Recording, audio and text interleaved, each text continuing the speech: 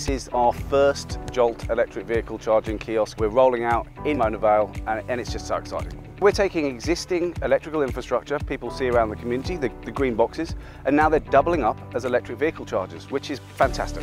This is the first of 500 chargers that are planned for Sydney.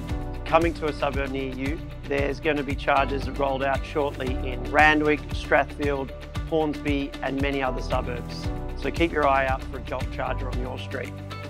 Drivers using the Jolt network can save over $1,000 a year, which is going a long way to solving the problems around EV charging. Sign up to the Jolt app uh, and once you're signed up you can pull up and plug in uh, and get 7 kilowatt hours or 15 minutes of free charging uh, and you can enjoy the savings.